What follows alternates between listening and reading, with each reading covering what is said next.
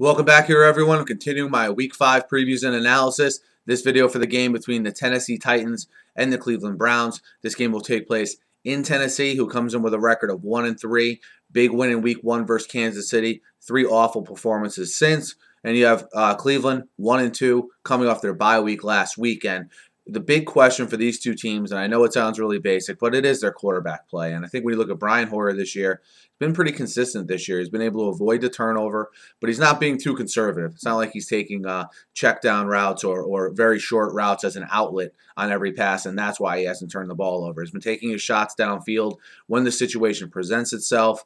Um, you know, that nice comeback they had um, in week one against Pittsburgh that fell short, and just some solid outings here the first three games for Brian Hoyer um, and that passing game. From a running game standpoint, look, both these teams like to run the ball. All right. And I'm going to be interested to see who can get that running game established. The offensive lines of these two teams have been very solid this year so far. Uh, you look at the Titans, though. Jake Locker, okay, has been sacked eight, time, eight times and has thrown four interceptions in his three starts.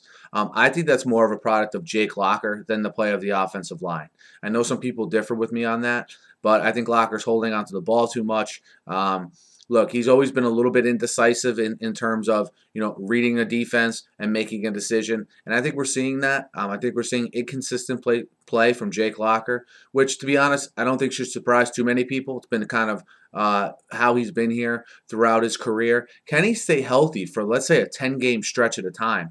I think that's when you're really going to see what Jake Locker can do. Hopefully, for his sake and the Titans' sake, this game begins that 10 game stretch where we see what he can really do Ken Whisenhunt and his coaching staff can evaluate and then see, you know, what the future holds. But for this game in particular, look, both these teams are going to try to establish their run in a big way because it's something that their offenses do very well. Um, we'll see who can do that the best. I think the Browns front seven is a tick better than the Titans front seven, even though, you know, you, you have to like Jurrell Casey and the way he plays on that defensive line for the Titans, certainly. Um, the secondaries for both teams are pretty solid, actually. Uh, maybe the Brown secondary not performing to the level they'd hoped here early in the season, but I still think that's a solid unit. Uh, Joe Haden, obviously, in particular, who's had some struggles this season, but I think is a solid corner. Maybe the rules affecting him, the rule changes affecting him more than a lot of other corners because he's a very physical uh, cornerback by nature.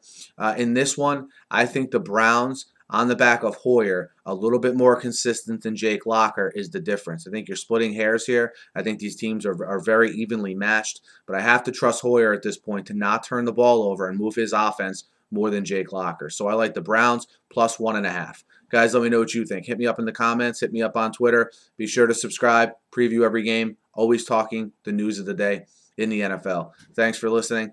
Have a great night.